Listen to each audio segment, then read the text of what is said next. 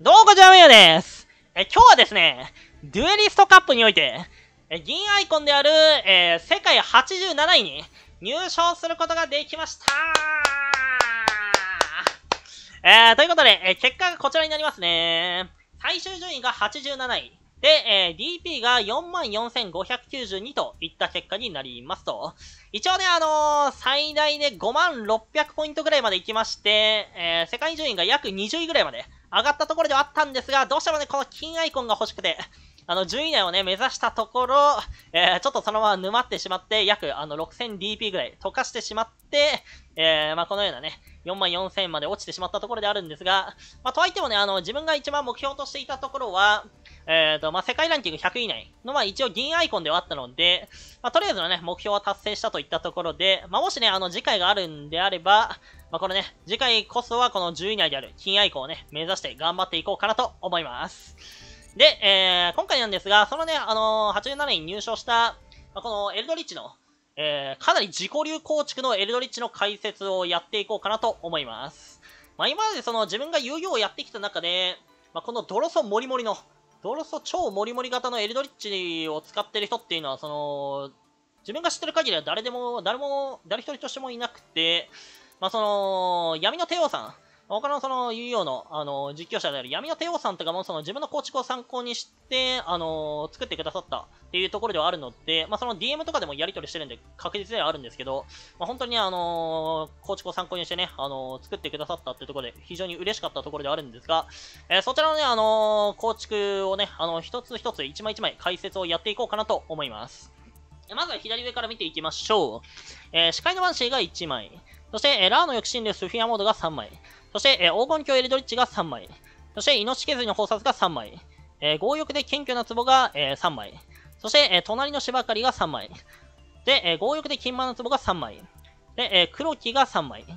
えー、金マネ謙虚の壺が、えー、3枚。ちなみになんですけど、そう、あのー、9月1日から一応そのリミットレギュレーションが発表されまして、で、その、金マネ謙虚の壺が制限カードになってしまったんですよね。まあ、他にこの応急の直命が禁止カードだったり、まあ、スキルドレインが純制限カードだったり、えー、バニティスペースが、えー、禁止カード。で、K このデッキで言うと、まあ、5枚抜けてしまうところではあるんですが、まあ、一応ね、あの、この構築で、あの、デュエリストカップ、まあ、入賞したといったところで、まあ、一応今回に関してはこの構築の解説動画となるんですが、まあ、そのね、あの、5枚、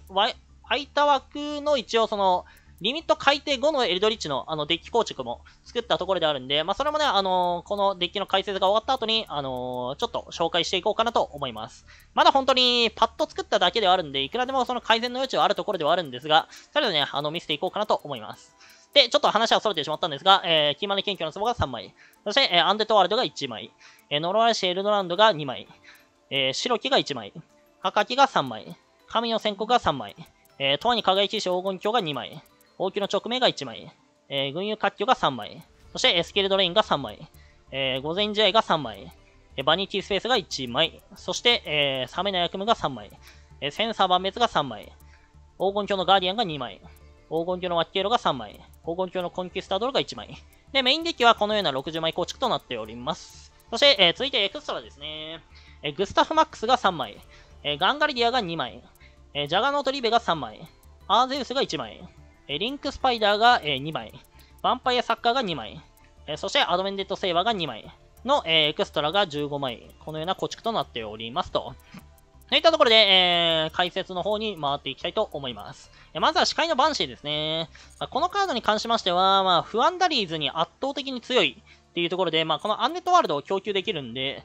アンデッドワールドをこの発動すると、あの、不安打率がね、かなりね、あの、展開が抑制されるといったところで、まあ、視界のバンシーとこのアンワーのセットは1枚ずつピン差しで入れております。あとはまあ、あの、このアンデッドワールド下での群雄割拠のロックが非常に強烈ってところと、あとはまあ、センサーも強いですね。アンデッドワールド下でのこのセンサー万滅のこのロックも非常に強力っていうところではあるので、このエルドリッチが場にいる状態で、まあ、この赤木とかを使うと、まあ、そのバンシーを供給できるっていうところで、まあ、奇襲で、えー、暗話から、暗話活況、まあ、通称暗話活況だったり、今暗話センサーだったり、で、え、強力なロックを構えることができるんで、ここのアンデッドワールドとともに、えー、バンシは1枚の、このピン差し採用となっております。で、続いて、ラーの抑止力スフィアモードですね。まあ、このカードに関しましては、本当にもう一番お世話になったと言っても過言ではないカードです。まあ、今のね、一番流行ってるその転勇者だったり、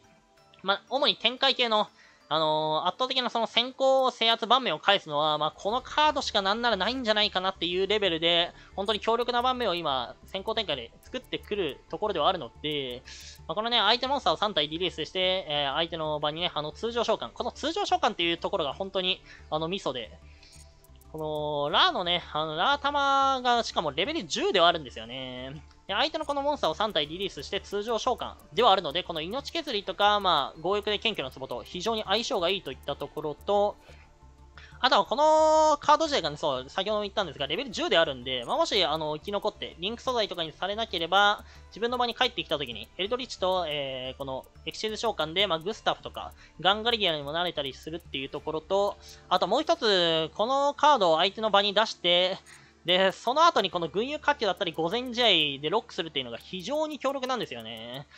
まあ、神属性っていうところで、まあ、まず神属性が入ってるデッキは、まあ、デュエリストカップに少なくとも1回も当たりませんでした。そして、まあもちろんね、あの、原神従属。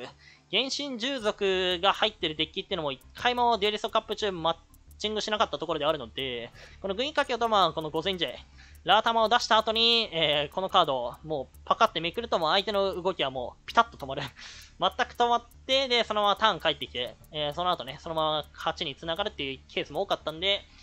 今の環境、このラータマは3枚必須、圧倒的必須カードとなると思います。えー、続いて、えー、黄金鏡エルドリッチですね。まあ、このカードに関しましても、もうデッキ名がエルドリッチであるんで、まあ、3枚圧倒的必須カードではあると思います。まあ、たまにその40枚構築とかだと、え2枚採用の方とかもいらっしゃる、いらっしゃったりするところであるんですが、まあ自分に関してはこの60枚採用、60枚構築であるので、このエルドリッチの被りだったりとか、このラータマの被りだったりとかが本当にかなり少ないところではあるので、そういったところで、まあ3枚のね、あの、マックス採用は、安定だと思います。それがね、あの、60枚構築のメリットでもありますので。さあ、次なんですが、え命削りの考察ですね。まあ、このカード本当に強かったです。今回のね、あの、ドロソの中で一番活躍したと言っても過言ではないドロソですね、本当に。まあ、単純にこの3枚ドローできるっていうところで、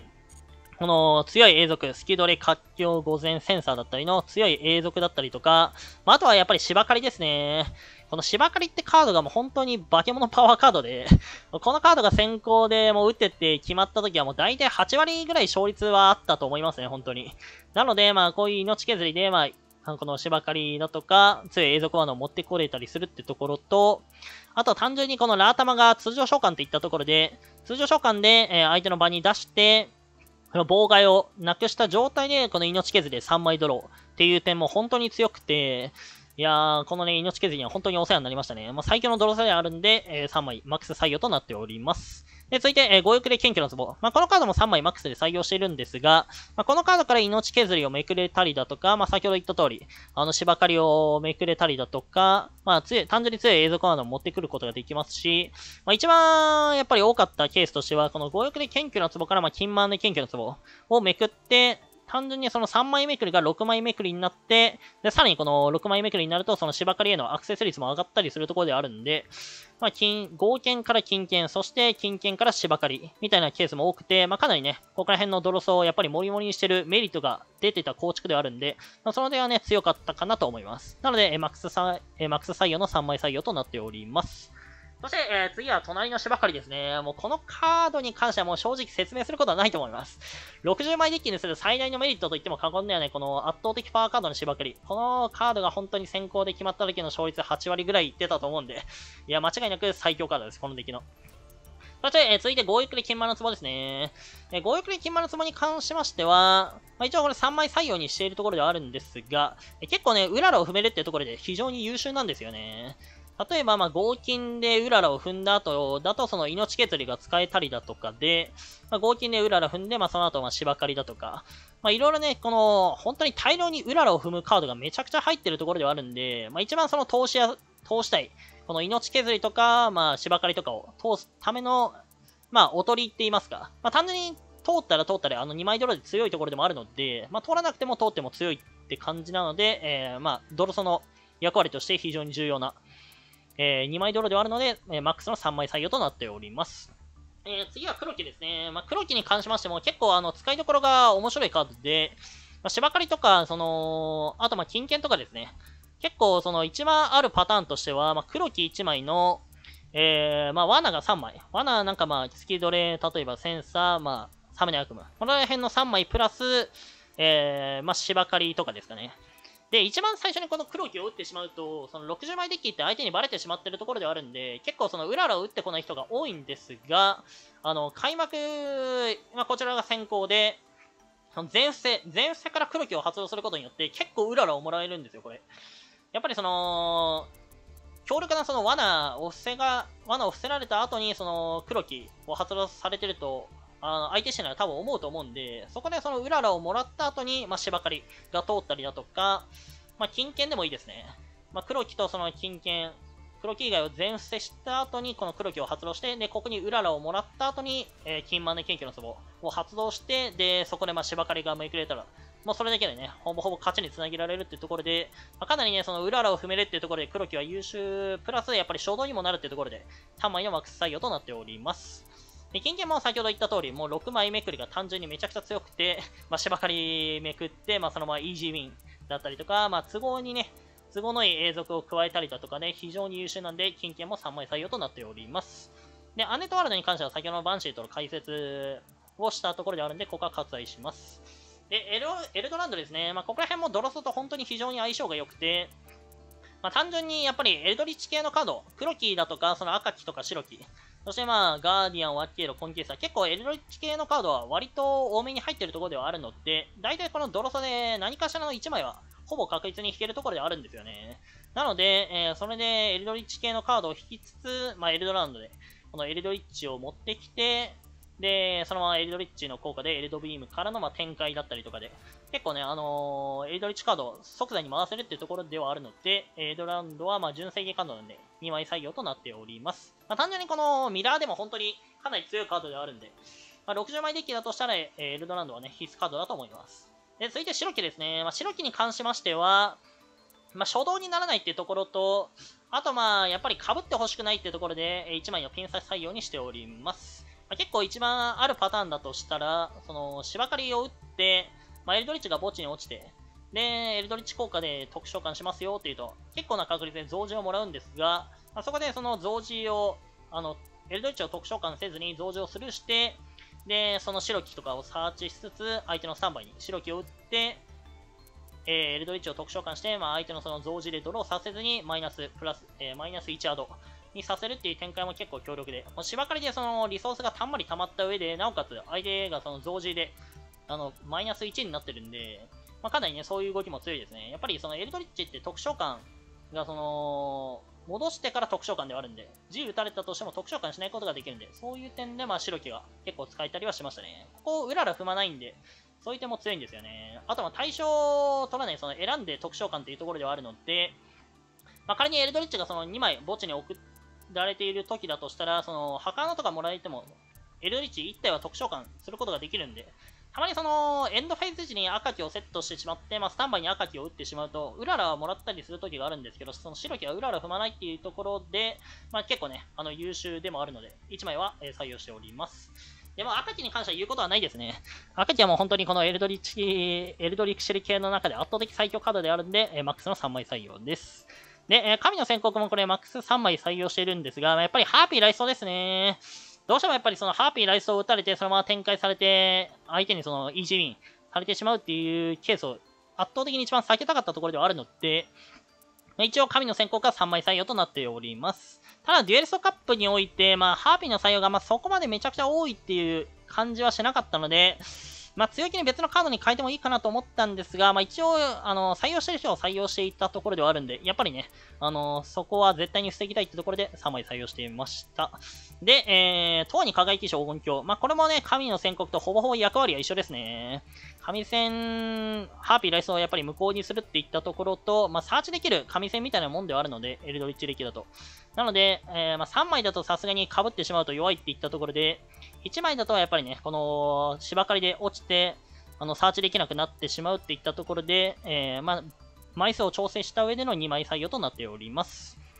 えー、続いて大きな直面ですね。まあ、これも言うことはないかな。えー、まあ、強すぎて、あの、9月禁止になりました。お疲れ様でした。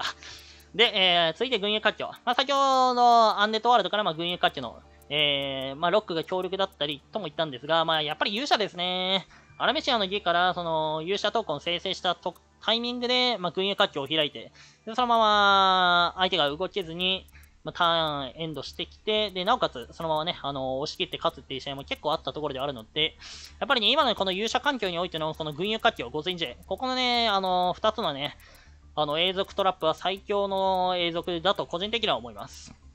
なんで、えー、マックスの3枚採用です。で、えー、スキルドリーンですね。まあ、このカードもちょっとあの、ヘイトが溜まるカードではあるんですが、ま あ、強すぎたんで3枚採用しております。まあ、9月からね、ちょっと純正限カードになってしまって痛いところではあるんですが、まあ、純正限カードだったらまず全然やれるところではあるんで、あのー、このデッキをね、あの、まだまだちょっと構築を変えつつ頑張っていこうかなと思います。で、えー、午前試合に関しましても、先ほどの、まあ、軍友火炬と一緒ですね。え、勇者トークンが出てきたタイミングで、え、午前試合を打って、そのまま、え、相手が展開できできずに勝ったって試合もあるので、ここは本当にマックスの、え、3枚採用としております。えー、で、今、虚無空間も、まあ、直命同様言うことないですね。まあ、強すぎて9月禁止カードになりました。お疲れ様でした。で、個人的に一番意識したところが、ここですね。サメナ役務。ここに関してなんですけど、まあ、もちろんその勇者に関しての、まあ、梅の旅路とか、まあ、ドラコンバックを割るってことは、あのー、割るってことの役割もちろんではあるんですけど、まあ、エルドリッチがね、その一番苦手としている電脳界、電脳界対面において、まあ、父へ追われるっていうところがかなり、あの、でかいところではあるっていう点で、まあ、本当に勇者年の上位体でなんなら一番多かったんですよ。なんで、え、このサメニャ君結構活躍したところであったんで、強気の3枚採用としております。あと、結構、まあ、先ほども言ったんですけど、あの、ハーピーとかの採用率が低いっていったところで、結構この永続あたりの群雄割拠だったり、えー、午前 J、そしてまあセンサー万滅、ここら辺の回答になるのが、まあ相手のデッキだと大体まあ無限保養。無限保養の縦列を無効にするのが結構ね、あの回答になったりする方も多かったんですが、まあ、その無限保有に対してチェーンでそのサメナ役目で破壊することによって、あのー、無限保有の縦列の参照ができなくなって、この永続トラップの発狂午前センサーあたりが、あの、無効化されないところではあるんで、まあ、単純なその、表側表示の魔法トラップカード、永続に対してももちろん強いっていうところもあるんですが、無限保有の縦列を無効にするのを、えー、止めるっていう点でも意外と強かったんで、結構ね、そういうところも活躍したっていうところで強かったです、このカードは。環境に合ったね、カードだったかなと思います。で、えー、続いてセンサーは別ですね。ここに関しましては結構諸説がありまして、まあ、エルドリッチデッキもね、結構ね、あのー、特徴感でできなくなったりはするんですが、まあ、不安ダリーズがね、まあまあいたってところで、やっぱりこのセンサーとマスキドレ、この、ここら辺の罠が刺さるってところではあるので、まあ、一応センサーは3枚入れていたんですが、もしかしたらね、ここは他のカードでも良かったかなって感じではありますね。やっぱり勇者がなんだかんだ一番多かったところではあるんで、勇者にあまりセンサー刺さらないってところで、まあ、神の通告に、とかに変えてもいいかなと個人的に思ったんですが、まあ、でも不安なリーズも結構いたんで、まあちょっと迷った末センサーを採用しました。一応まあ、墓地のね、このエルドリッチの効果でセンサーを剥がして特徴感とかできたりするんですが、結構ね、使いどころがね、難しいカードになるんで、まあここはね、あの、選ぶと思いますね。人を選ぶ採用にはなるんで、まあここは結構まあ自由枠というか、通告とかでもいいような気は個人的にはしますね。どっちでもいいと思います。さあ、えー、で、続いて黄金鏡ガーディアンですね。まあ、ガーディアンに関しましても、まあ、エルドリッチ系カードで、まあ、単純に2枚入れたってところではあるんですが、まあ、ミラーで強かったですね、このカード、本当に。永続で0、対象を取らないその永続で0っていうところで、まあ、エルドリッチデッキのこのミラーにおいて本当にかなり強いカードであるっていうところで、あとまあ単純に、あの、墓地リソースを増やしたいっていうところで、まあ、ガーディアンは3枚はさすがに多いかなと思って、まあ、1枚はちょっと、えー、芝刈りでのね、このパワーがちょっと落ちてしまうかなっていうところで、まあ、バランスをとって2枚採用となっております。で、えー、黄金鏡アキエロ。まあ、このカードに関しましては、まあ、これも言うことはないですかね。あ、墓地利用するデッキが非常に今、現環境多いっていうところで、あ1枚ね、墓地を、相手の墓地を除外できるっていうところと、まあ、単純なアタッカーとしても1800って結構高い打点にはなるんで、まあ、優秀なんで、え、3枚採用となっております。で、コンキスタドルももうね、あの、黄金鏡カードの中でおそらく一番強いカード。フリチェの対象の破壊、対象を取らないフリチェ破壊の、えー、カードであるんで、えー、コンキスタドルは1枚採用しております。で、続いてエクストラですね。で、今回、あの、アーゼウス、1000円カードのアーゼウスを除いて全部2枚ずつ採用してるところであるんですけど、個人的に一番出すかなって思った、えー、エクストラをえー、2枚以上採用しております。まあ、それもね、この強欲で金満の壺で、あの、飛んでしまうケースがやっぱりあるので、一番使いやすいところを、まあ、凝縮して、えー、2枚以上採用したって感じではありますね。やっぱりこのグスタフマックス、一番そのランク10で出すカードであるんで、え、3枚採用しております。まあ、単純にこの、エルドリッチ、グスタフから、えー、ジャガノートのリーサルがあるっていうところと、3500打点、えー、2500、エルドリッチの、えー、パワーアップした3500と、えー、2500で6000。で、プラスで、えー、グスタフの2000バーン。で、まあ決まるっていうケースもあったりするんで、グスタフはね、3枚、えー、必須だと思います。えー、やっぱ合金が入ってるんだったら、まあ3枚入れといた方がいいとは思いますね。で、まあガンガリギア。このカードに関しましても、相手の盤面がそのモンスター1体で、モンスター1体いて、そのリーサルを取るっていう時に、ガンガリアで、その、相手モンスターを除去って1000ダメージ与えてから、ジャガーのトリベの、えー、攻撃アップして6000ダメージ。攻撃6000で、え1000プラス6000の7000ダメージで、まあ、そのリーサル取れるっていう試合展開も結構あったりしたっていうのと、まあ単純に、あとこのフィードのカードを触れるっていうところが、まあ、でかいところでもあるので、まあ、そんなにめちゃくちゃ入れなくてもいいかなと思ったので、まあでも一応、あの、合金で飛ぶ可能性も踏まえた上で、1枚ではなく、この2枚採用にしておりますと。まあでもかなり強かったですね。普通に使ったりはしたんで。で、ジャガーノートですね。まあ、ジャガーノートは本当にもうワンキル性能がめちゃくちゃ高いところではあるんで、エルドリッチ自体がね、このライフ取るのが結構遅いテーマではあるので、こういうジャガノートで一発逆転だったりとか、まあ、合金とかでやっぱり飛んでほしくない、飛んでもやっぱり1枚は最低でも使いたいってところで3枚のマックス採用としております。で、えー、続いてアーゼウスですね。アーゼウスに関しましては、まあちょっと保険みたいなものではあるんですけど、この、エルドリッチ2枚でエキシーズして、グスタフマックスを出して2000バーンからの、えー、ジャガノートで6000ダメージ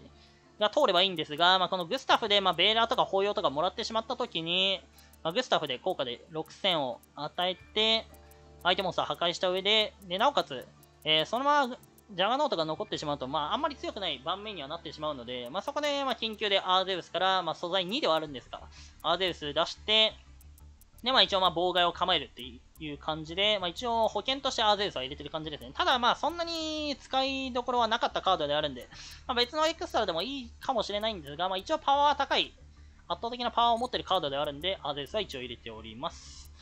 ただ、まあ、その、金満で謙虚な壺で、あの、除外するのは基本的にこの1枚ずつですね。グスタフ、えー、ガンガリディア、ジャガノと、えー、リンクスパイダー、えー、ヴァンパイアサッカー、アドメンデッドセイバーの1枚ずつ除外するところであるんで、アーゼウスは基本的に残しておくっていう択は取ってはいるので、まあ、使うときは使うっていう感じでしたね。で、続いてリンクスパイダー。ここに関しましても、イムドゥークとちょっと迷ったところではあるんですけど、まあ、一応エルドリッチ2体で殴って、まあ、5000、プラスで、えー、リンクスパイダーで1000、で、さらに、その、合計6000ダメージプラス、えー、エルドリッチの2体でエクシーズして、まあ、グスタフで8000っていう、まあ、ぴったりの流れがあるんですけど、まあ、そのね、流れも、まあ、そんなに、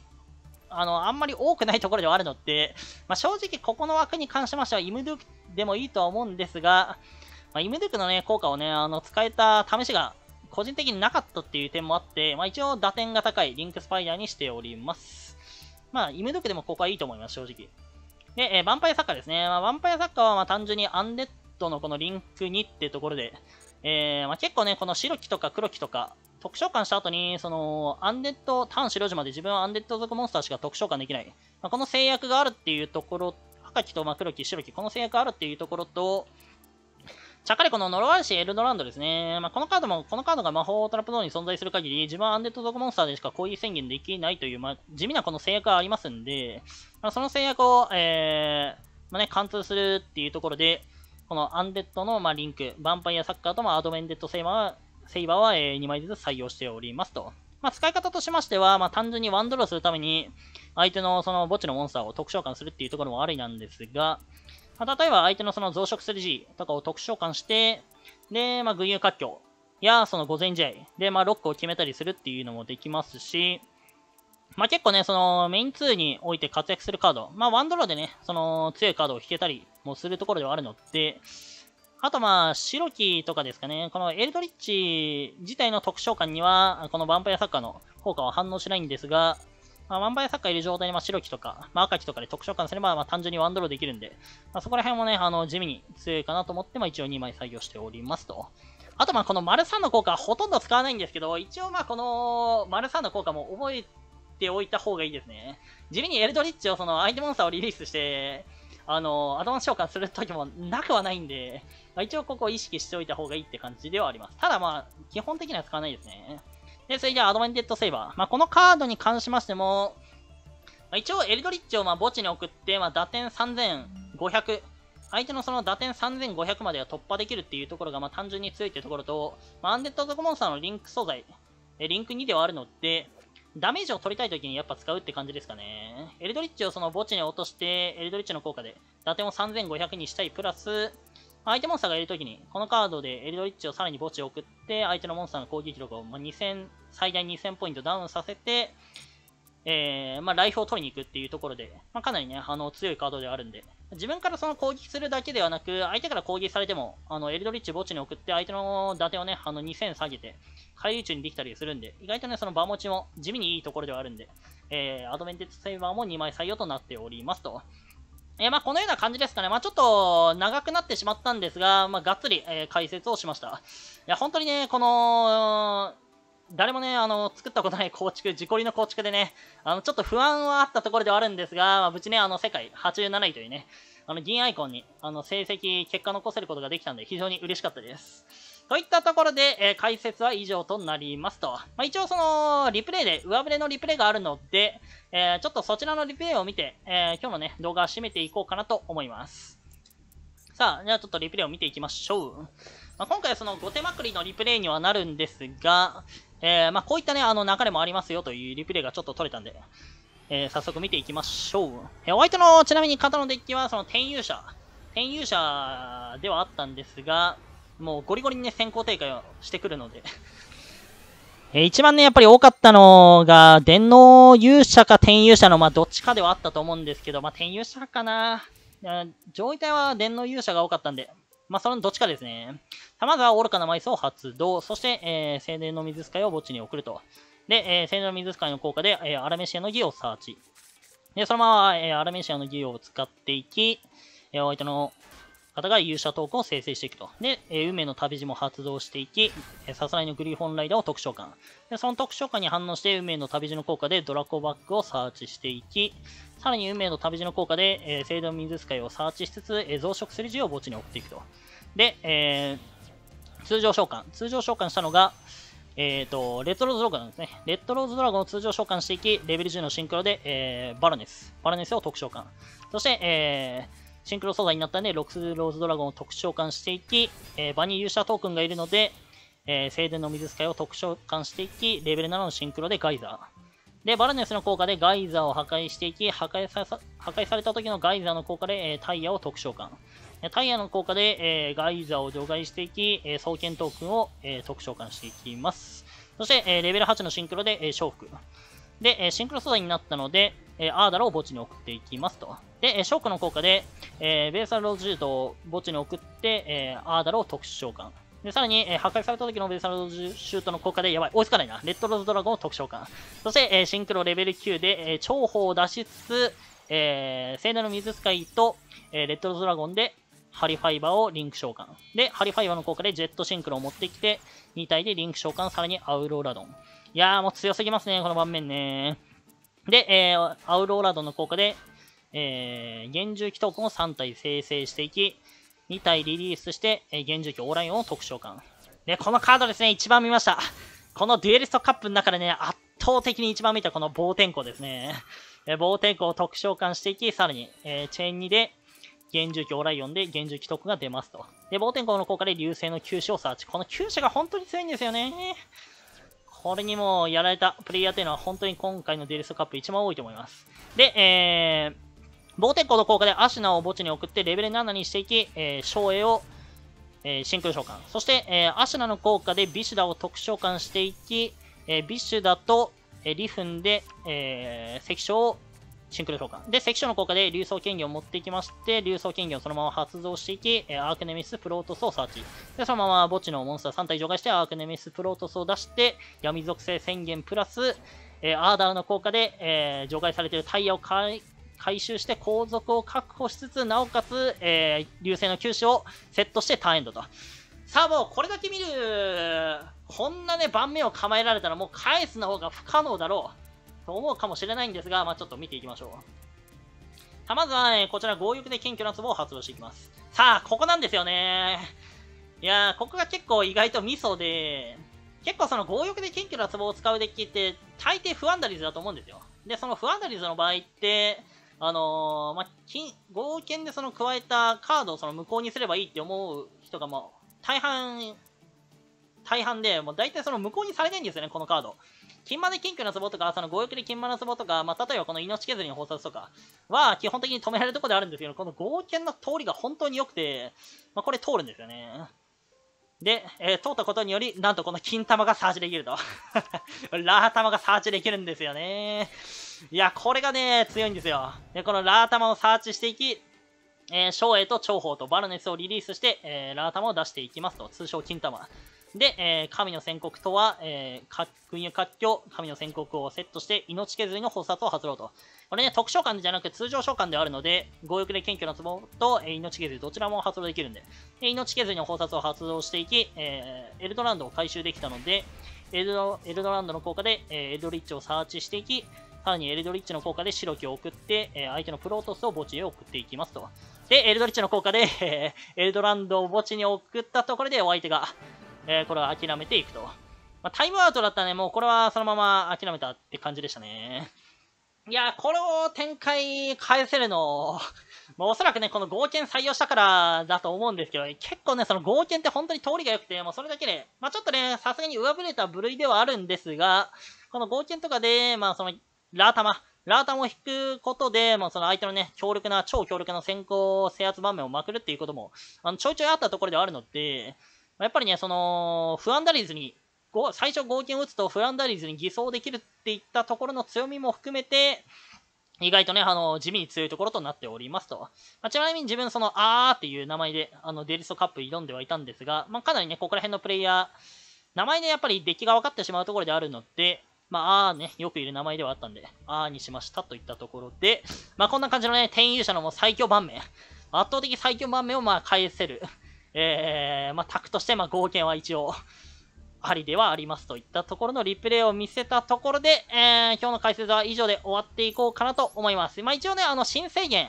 新制限に関しての、まあ、エルドリッチの構築も、60万円エルドリッチの構築も作ったところであるんで、最後にこちらの、あの、リストを見せて、あの、締めていこうかなと思います。まあ、もちろんね、その、今後全然変わるとは思うんですが、一応とりあえず、作ってみました。まあ、マスターズの指名者が制限になるっていったところで、まあ、無限保有の通りがかなり良くなるかなって思って、まあ、3枚採用したところと、まあ、墓穴もね、その、あの、金マネ謙虚の壺が2枚減ってしまうっていったところに、まあ、そこの枠に墓穴を入れて、まあ、他のドロソの通りを良くするっていったところと、まあ、マスターズの指名者が制限になるので、まあ、墓穴をね、その抹殺されるってことも結構少なくなるかなと思って、まあ、ここの採用しました。で、まあ、あのー、VFD が禁止になるってところで、まあ、電脳界もね、結構、ほぼほぼいなくなるんじゃないかなと思って、サメナ役務を、まあ、ドラグマパニッシュメントに変えたりしたりするって感じですかね。まあ、もちろんね、あのー、突発に決めた構築であるんで、まあ、今後全然変わるとは思うんですが、まあ、こんな感じのリストになっておりますと。といったところで、えー、今日の解説は以上となります。えー、本当にね、えー、なかなかご視聴皆さんありがとうございました。えー、よければチャンネル登録の方と、えー、評価の方もぜひよろしくお願いします。ではではお疲れ様でした